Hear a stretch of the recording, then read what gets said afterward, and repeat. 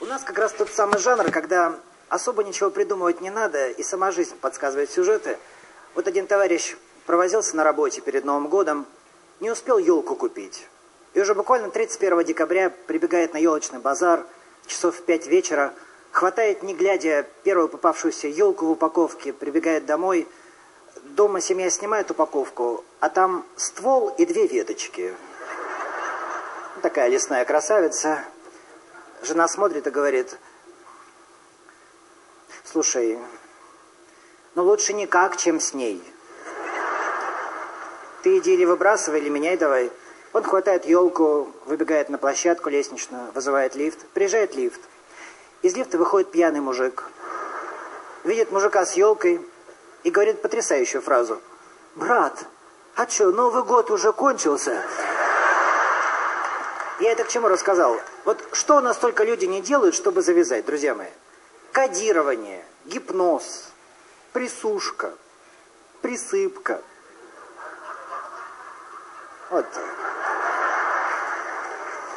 Живые примеры в зале. Ерунда все это. Есть, по крайней мере, одно проверенное народное средство. Чтобы наш человек бросил пить, его надо хорошенько напугать. Я вам хочу рассказать одну почти фантастическую историю. Она как раз связана с лифтом и была перед Новым годом.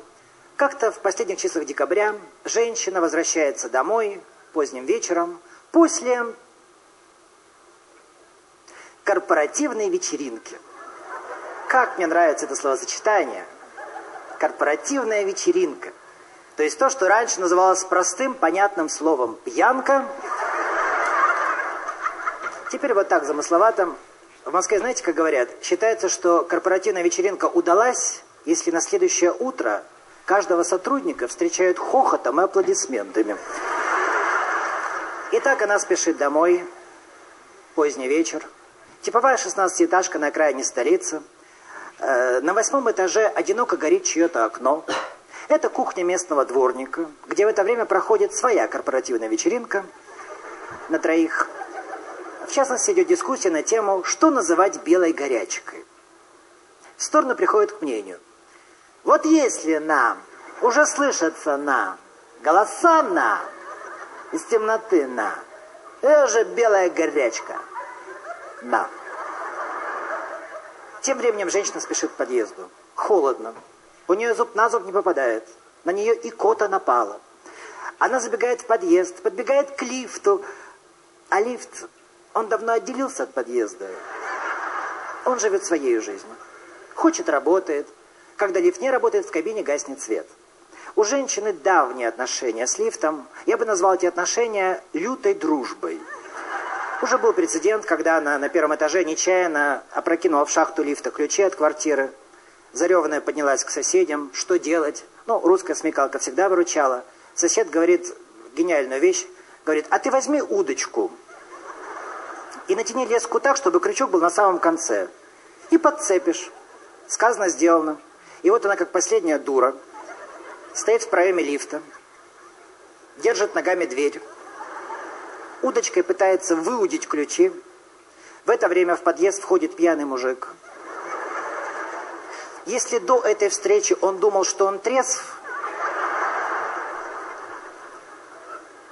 то при виде женщины с удочкой в лифте Последние сомнения развеялись. Он подходит к ней сзади и участливо спрашивает, как, клюет?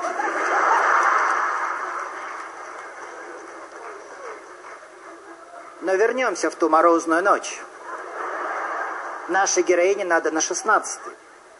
Поэтому она подходит к этой кнопке лифта с надеждой, Бесполезно. Сегодня не ее день. Издав крик раненой слонихи, она начинает долгий мучительный подъем наверх. Светало.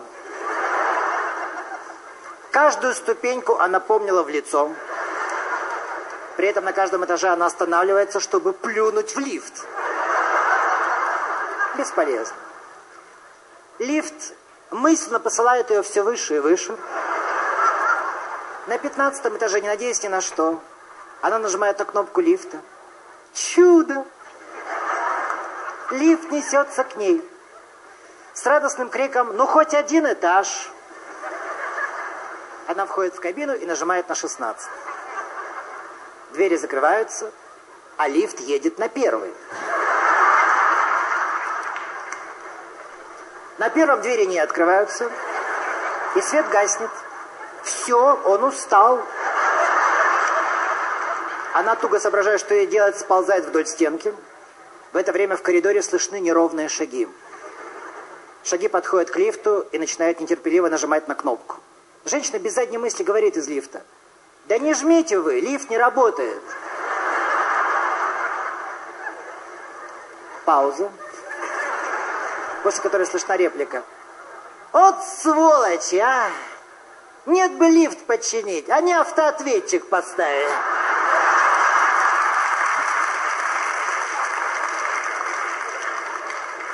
Шаги уходят в темноту.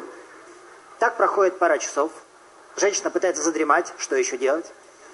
Через пару часов на площадку восьмого этажа выходит дворник, собираясь на работу. Нажимает на кнопку лифта. Чудо!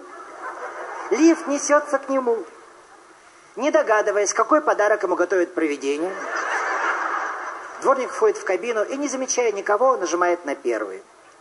Двери закрываются, и свет гаснет. Дворник начинает иступленно колотить по стенкам с криком «Ну, хоть бы одно мурло проснулось!»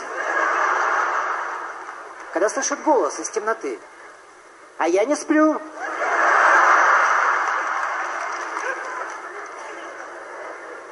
Холодея от ужаса, дворник спрашивает темноту. Кто здесь? Знаете, такие совпадения случаются наверное, раз в столетие. Она решила пошутить. Говорит, кто-кто? Белая горячка.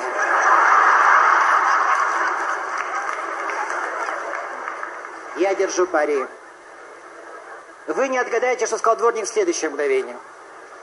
Он спросил, вы ко мне?